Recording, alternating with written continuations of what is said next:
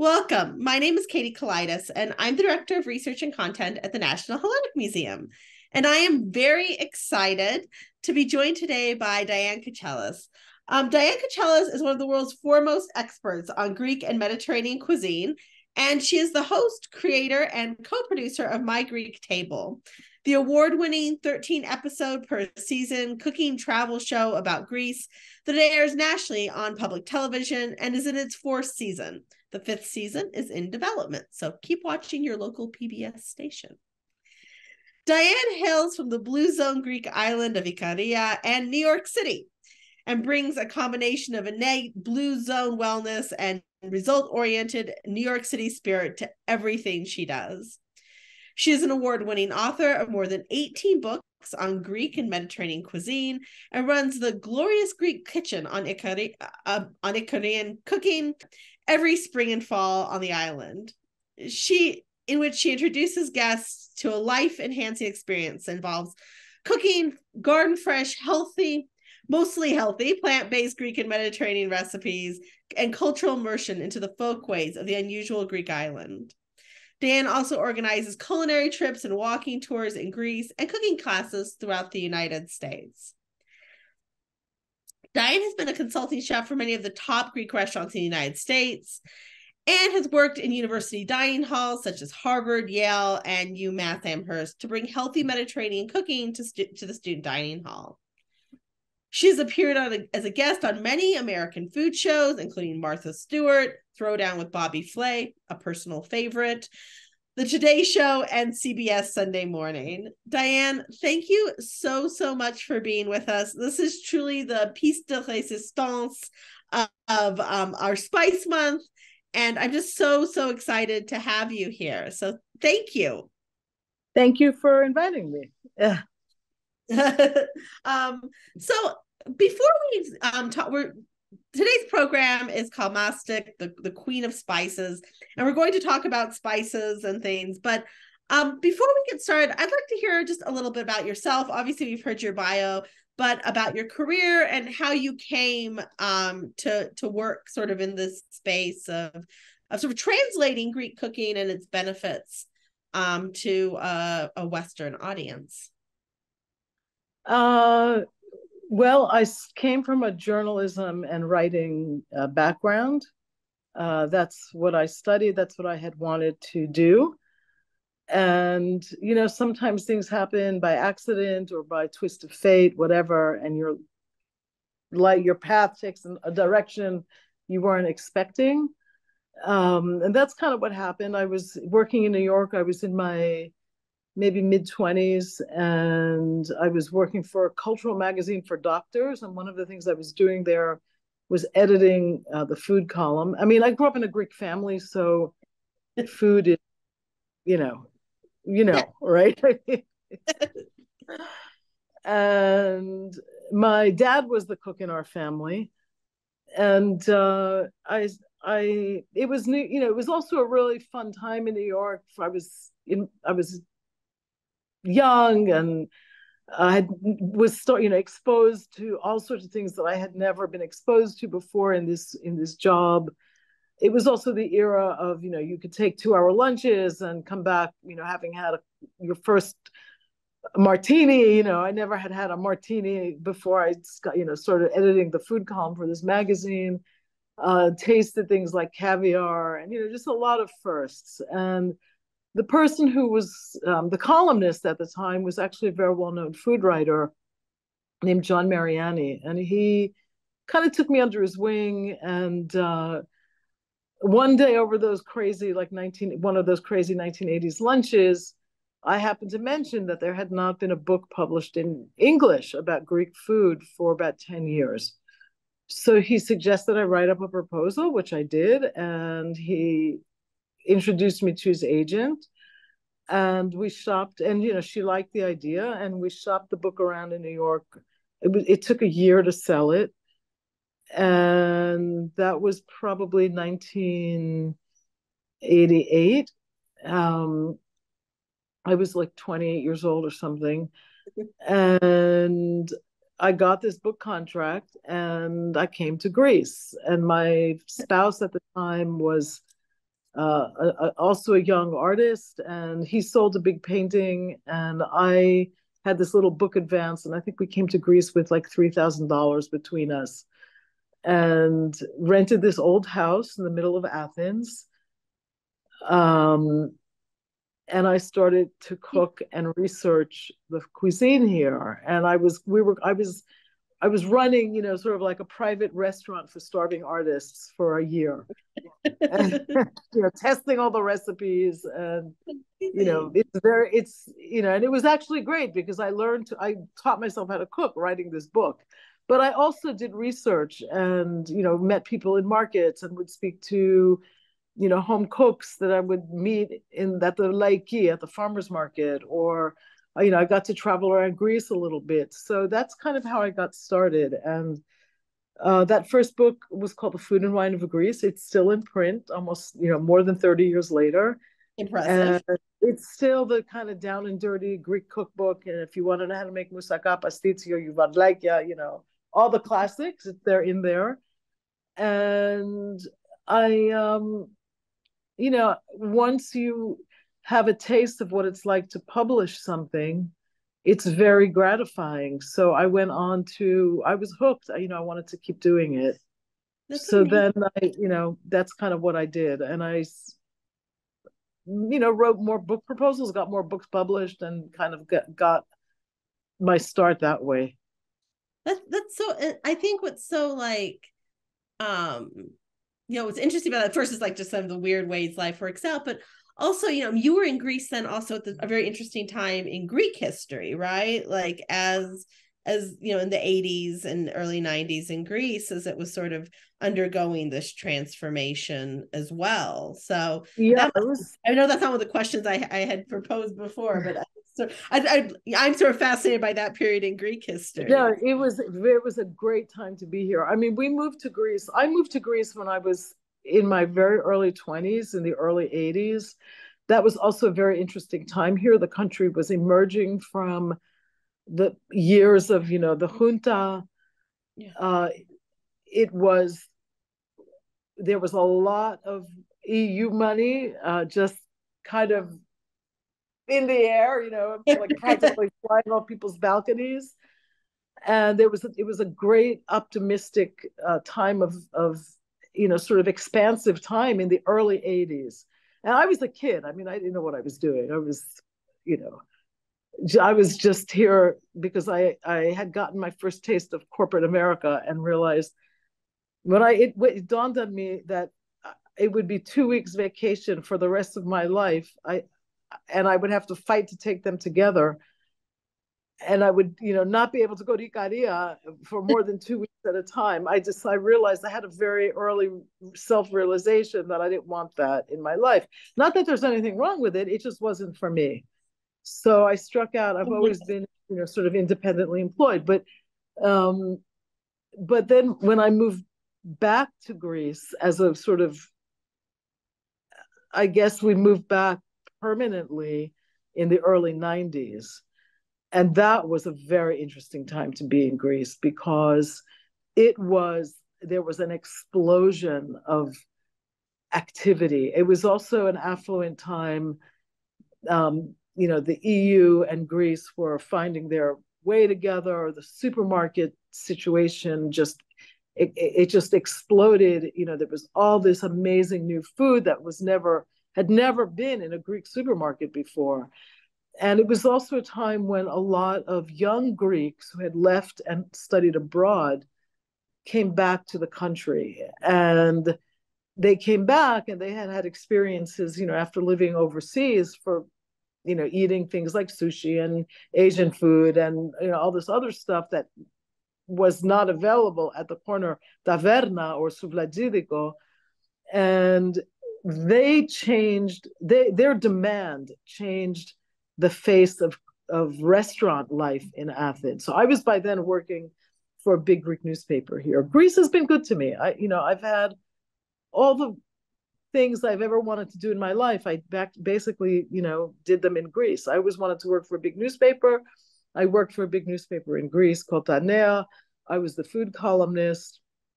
Um, I I wrote I was the I wrote recipes, food history, and then I was the restaurant critic for 20 years.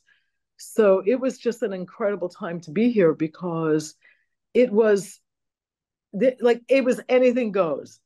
You know, you spanakopita with wonton wrappers and you know, the, like people with the waiters would come to the table and start to explain that, you know, oh, and this, you know, this yellow sauce needs to be eaten warm, but the red sauce should be eaten chilled. And, you know, dip it in the yellow sauce first and then dip it in the red sauce and try not to touch the green sauce. And, you know, it was completely pretentious and ridiculous, but really fun.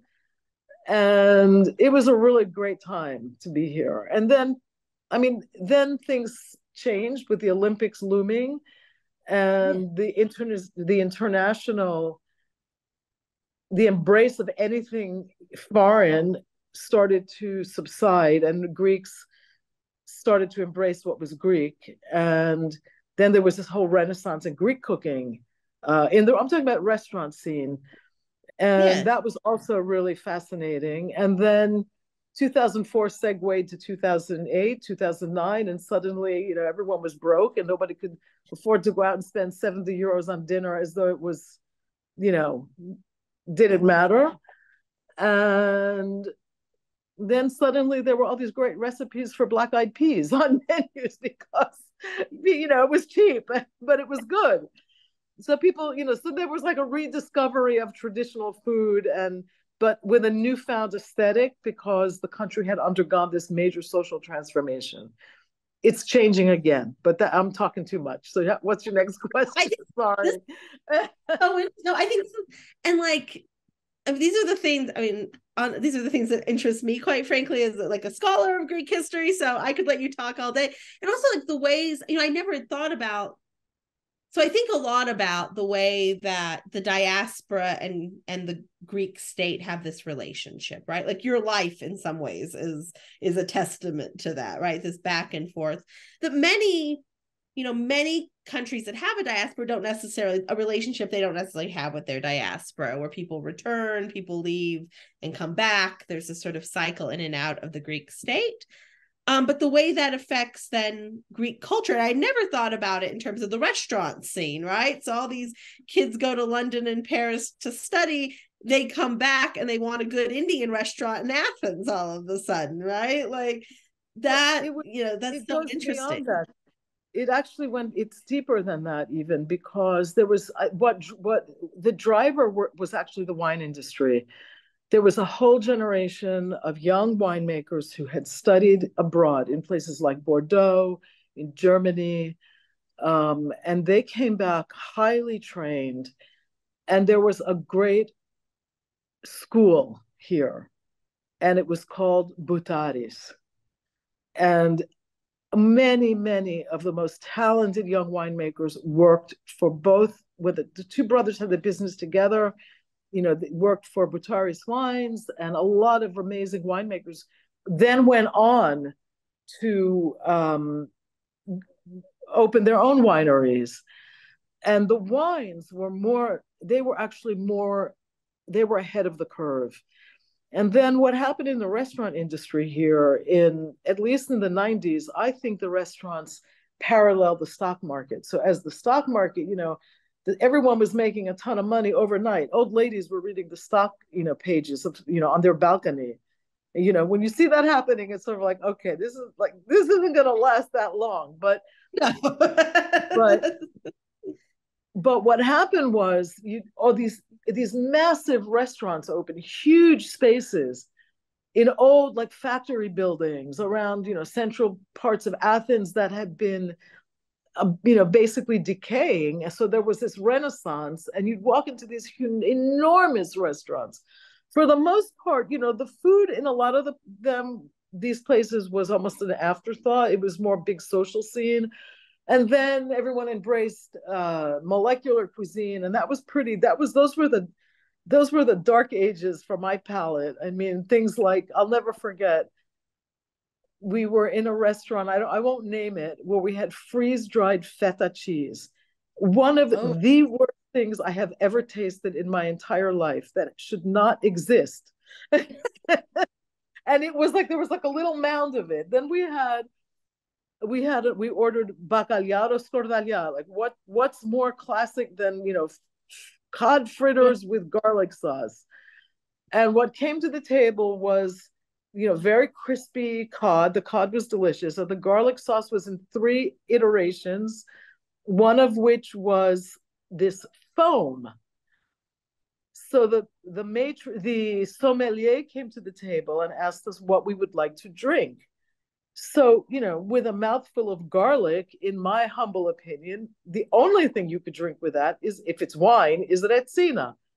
But yeah. of course, retsina was, you know, that was like saying, I want to drink, you know, dishwall, dish soap. I mean, it was, and we ordered retsina. They didn't have retsina on the menu. So we ordered a beer.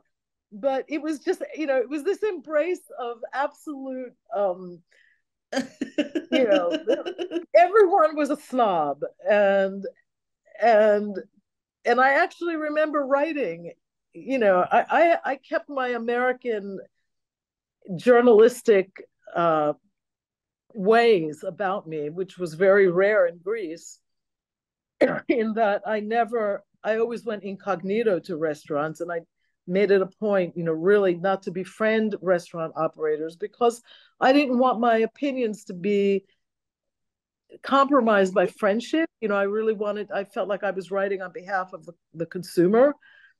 And that was that. I, a lot of people didn't like, you know, it was like that shook a lot of people up, basically. But um, I remember writing that it was this this skordalia was like eating garlic flavored toothpaste and boy that chef was he was really angry. But anyway but those were sort of like the fun glory days. But now things are a lot different here. Athens is undergoing another incredible transformation. And anyway that's a whole other subject. I, absolutely. I mean i i i think just as a side note i mean i think athens might be the last i mean it's the last european capital artists can afford to live in and i think that's a sort of interesting you know creates an interesting space right i mean you can't live in the center of paris if you're a if you're a painter or something um you can live no. in athens and like that's that's changing know. yeah that's no yeah rapidly it's, this is yeah. the work of a young artist Oh, lovely.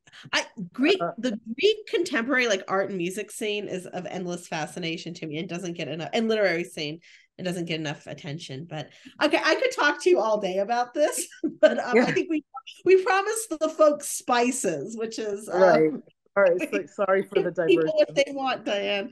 Um, so we called this program, which I now wish I had called um, Talk to Diane Kochilas about her early years in Athens. Um, mastic, the queen of spices. Um, could you explain to us what mastic is and why it's the queen of spices? Okay, mas- mastic or masticha is a resin uh, produced uh, in the 20 or 20, I think it's 20 or 21 mastic, mastic villages in the southern, uh, on the southern part of the island of Chios. And it is, I think it's really a miracle food. It's, I think it's, you know, the the the queen of superfoods in in Greece, that's for sure. It's a very interesting um, substance because it's not only a spice. So what happens is you in the summertime between June, starting in June, they they what they call they embroider the trees. They basically slice open the bark in a very particular way so they don't destroy the tree and the resin drips down. It's warm enough so that it's, you know, it's viscous, it's liquid. It drips down and it's collected. Uh, they usually lay lime or um, uh, I think marble dust, if I'm not mistaken, uh, under the trees. And these teardrops, and they're called teardrops in Greek, dacria, fall to the ground. They're collected, they're sorted, they're cleaned, and they're used in traditional Greek cooking, the spice is used in mostly in baking. And it's a you know it's a hard crystal so you have to pound it. And if you're using it in savory dishes you pound it in a mortar uh, with a pestle and a little salt. If you're using it in a sweet pastry or sweet bread or something, you use you pound it with a little sugar. You never want to do that in a spice grinder because it's also gummy. It's a natural chewing gum, as many Greeks will you know know already. Um, so the bigger pieces, in fact, you can chew them. And masticha has it's it's a pen it's a um, panacea for all sorts of ailments. It's incredibly good for gut health.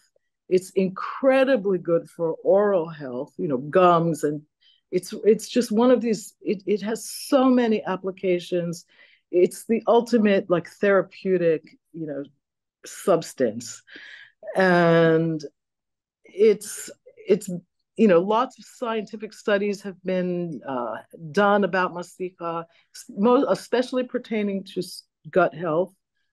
Um, but not only is it used in cooking it's used in the pharmaceutical industry it's used in cosmetics uh, but in cooking, and I say this from the perspective of, of a cook, it's one of the most incredible ingredients I've ever worked with because it, A, it has a very unique flavor. It's it's very hard to describe the scent or flavor of masticha. It's piney.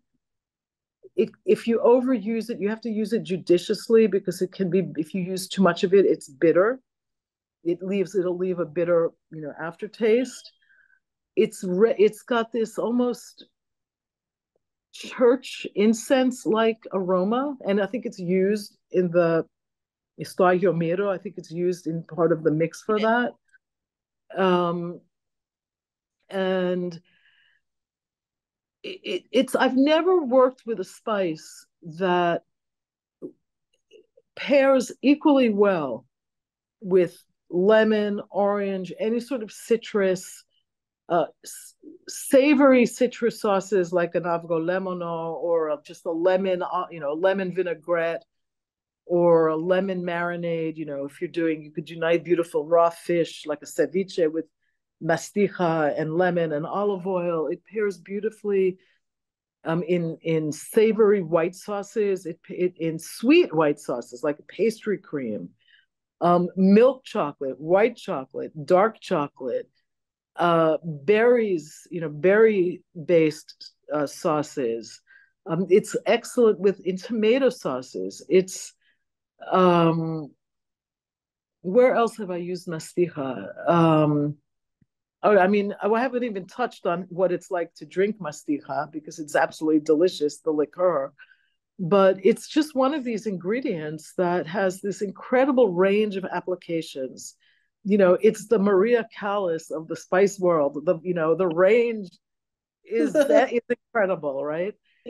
And i just came from the i visited the maria callas museum a few days ago. Um i've heard that it's anyway, I don't. Let's not go on. on uh, I mean, I can. You can talk about Maria Callas all day, yeah. but, so, but masticha is also. Um, it's also used in you know the most traditional applications, as I mentioned, are in things like, uh, you know, the Christmas our Christmas and New Year's breads, the tsoureki, Christostomo, Christopsomo, uh, Vasilopita, you know, Easter bread, tsoureki, Vasilopita, the New Year's bread. Um, it's used in cookies. It's used in uh, sometimes in Easter cookies in koulourakia. Um, it's used um, I, in the traditional kitchen. That's I think that's more or less it. Um, I use it. I I make a cheese a tiropita with it, and I use masticha and lemon zest in the fill the tiropita filling, just with you know feta and a little bit of um, uh, maybe something lighter like anthotyro or ricotta. Uh, so it's just got incredible applications, and it comes in different forms. You can buy the crystals. Um, I would recommend the crystals because they have the most, they pack the most punch, you know, the most flavor. It also is sold as a um, um, an essential oil and that you just need a drop of that it's it's it's very potent um it's you it's also sold in powdered form like pre-pounded basically Um, and it's you can also use the liqueur in to flavor things. So I use it a lot in in my cooking. I love it. Excellent. No, and just as a sort of uh, think about this, so you'd recommend the crystal form. Does that mean we need a mortar and pestle to break it up? Like, do we need like you need a mortar and pestle because if you put it in a spice grinder, it's a natural gum. So okay. it will stick to the blades. You'll destroy the blades. okay. So if we not in the spice grinder we like is what I'm hearing. Don't put it in a spice grinder. No, no. okay. Um, okay, that's so I imagine you know, spices have usually have these very rich histories and they've had this sort of rich um, sort of economic and cultural history. Um, can you tell us a little bit about the history, so the the effect of mastica on the history of its native Chios, like what, um, how is it sort of incorporated into the culture, and sort of a little bit about the history of the spice, I guess, and um, what we know about its first uses. Do we know anything if we sort of comb comb old cookbooks and things? What do, what do we know? And we may not know much. I am aware.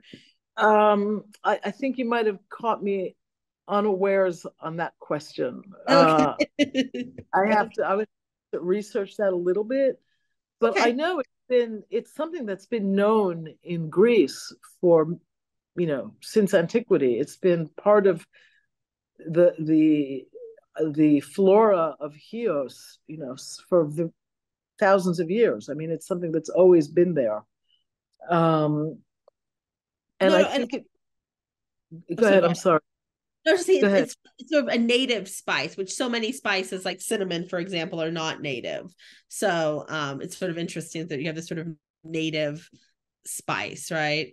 Um, I'm sort of, and I, I think it was known as it for its therapeutic values. You know, since I mean the, you know, the the ancient Greek pharmacopoeia was based on um what you know what was found in nature. Absolutely no absolutely. Right? I mean they, that was it. Everyone yeah. you know that was used. Oh, you uh, mentioned uh, but can you tell us about some of those other pharmaceutical benefits? Um well i mentioned that earlier. You know it's very good for gut health. It's very good for ulcers. It's very good for oral health. It's you know mastica toothpaste is really good for you um, I often will use the, you know, some shampoos that have mastica in it, in them. Um, so. Well, I well, it's an important part of so now that I know how now that I know about all these benefits, um, well, I know it's sort of hard to find in well, it used to be hard to find in Western grocery stores, but that's increasingly not the case. But where would you recommend we look for mastica if we want to go buy some? Well, you can find it in you know any Greek or Middle Eastern shop will have it because it's also used in um, um, Middle Eastern cuisine as well. A lot of it is actually exported to the you know to the Arab countries because they also use it in their cooking and it's you know the whole sort of Eastern Mediterranean Fertile Crescent areas um, and you know they use it. Um, in the States, you can find it. I think there's an online mastika shop. I also sell it in my e-shop online. I mean, it's one of those uh, basic, you know, basic Greek spices that people probably use it more around the holidays for holiday baking. So I would guess that that's when it's, you know, mostly um, you know, avail- not no, I mean it's available all year round, but that's the that's the that's the time to look. Um, so I will I have to go to my my local Greek um store today. I might actually buy some. You, have inspired me um to, to to to buy some mastica. Um, this is really really fascinating, and um, I hope you'll come back and join us. I'd love to have you come and talk to us at some point about um Greek restaurant culture if you're at all inspired. That um, I can so- forever it's in constant, you know, it's constantly changing. Um, but the plant, I mean, mastica has been part of the Greek culinary and and folk medicine world, you know, for a very very long time. Um, and it's one of many spices that are used here. I mean, the the Greek, the palate of Greek cuisine is more herbal. That is, I would think, I would say that it's more of an herbal palate than a spice palate. That's not to say that we don't use um, spices like cinnamon and cloves and nutmeg and allspice. Those are the, and maybe cumin. And you know, that's probably also in specific dishes something that Greeks use but think about the foods that we eat. It's really more of an herbal palette oregano, thyme, sage, rosemary, uh, parsley, dill, fennel, wild fennel, um, chervil, which we find here in, in the wintertime in Athens, um, lots of different things in the mint family, uh, spearmint, double mint, pennyroyal, all those, you know, so it's, and and and and going back to the question of the therapeutic value of masticha, all of those substances are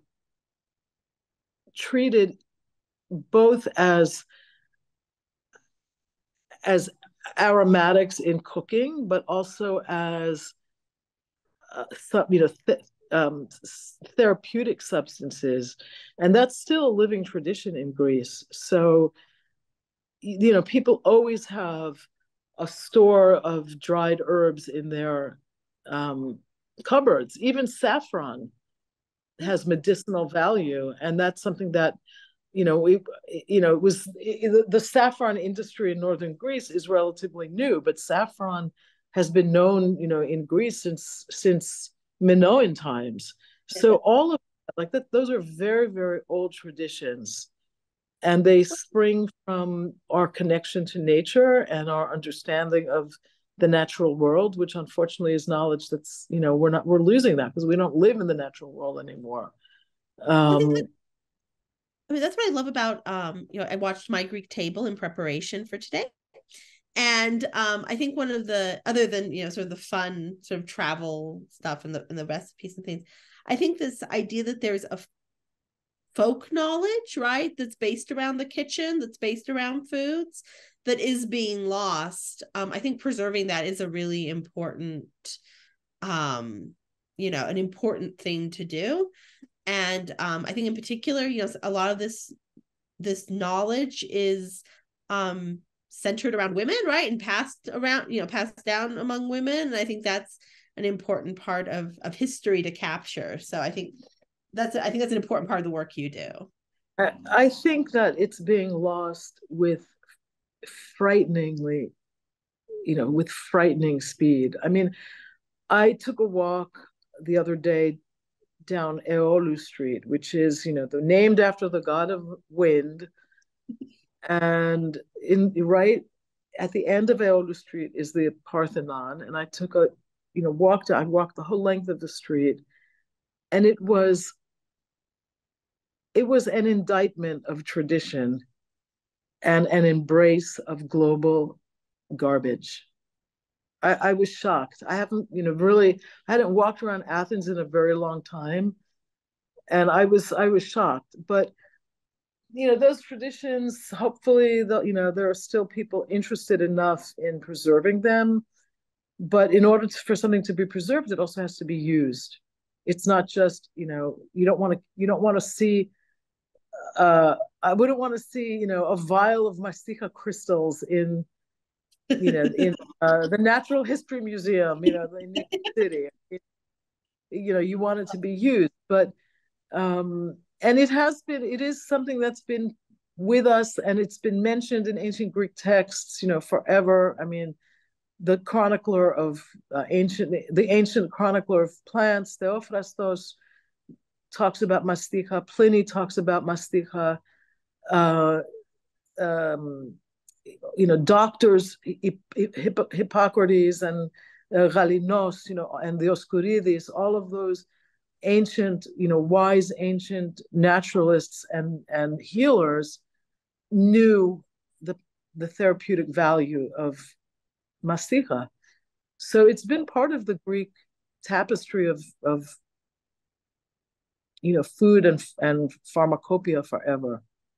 I think I think you hit on something so you know one of the transformative events in my life. I spent a summer with a great great aunt with one of my my my grandfather's aunts, and how much she knew about the land, right? Like how much she could make dinner. She'd go out, out in a back garden and in a wild space, right? Not even a cultivated yeah. garden, and make dinner, right? She could, yeah. she knew what she could eat. She knew um, what plants you took for a headache or a stomach ache or a, um, and you're right, that kind of, you know, this is a woman with with no real formal education, right?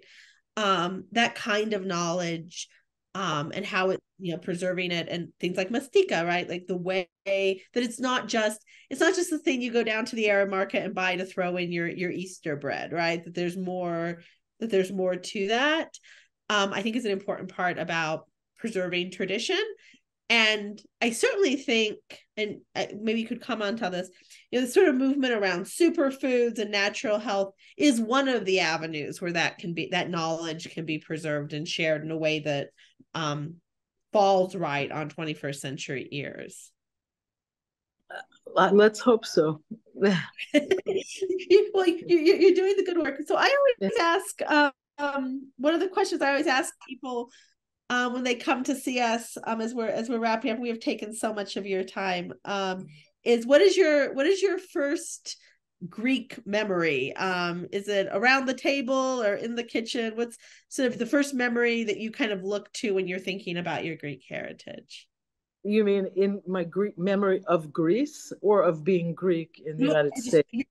Just being Greek, even in the United States, growing up in the United States or in Greece, where wherever there's that moment you you're thinking about, you know, you share your Greek you share Greek food all over the world and to all sorts of people. What's one of your moments that kind of anchor you in in your Greek identity and heritage? Um well, I have to think about that. Uh, a lot of moments. I, being a kid, you know, growing up in, my mom was born in the States. She was half her dad was born in Ikaria. Her mom, her, my grandmother was born in Calabria, and mm. my father was born in Ikaria. My father was the cook in the family, so I guess I have very early memories of his just this. He was an operatic, big, friendly person, and we always had guests. We had a lot of people from Ikaria who would you know, were newly arrived immigrants who would stay with us until they were settled. Um, so there was always a lot of food coming out of my home kitchen, my you know my parents' kitchen, and I remember the holidays more than anything. Just just this grand, you know, it, it was a production line of you know, xerotigana, which are diples, I guess in, in, called diples in other parts of Greece, which are the dough fritters, uh, loukoumades, um, uh, all sorts, you know, all the cookies and cakes for, you know, for Christmas. And I just remember it seemed to be the the few days before Christmas, there seemed to be this frenzy of of interesting smelling things coming out of the kitchen and amazing.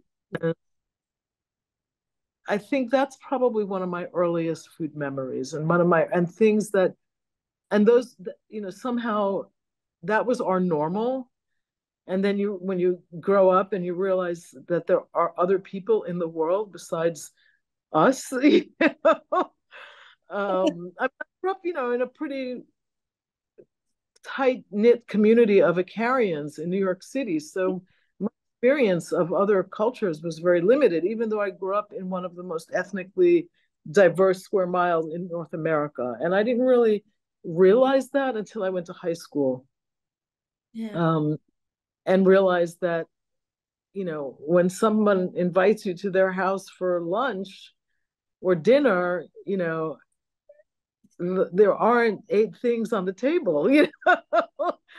there, if there are people, there are eight pieces of whatever it is that the mother cooked that day. Whereas in a Greek home, it's you know it's it's it's excessive. And i you know those are kind of the early memories.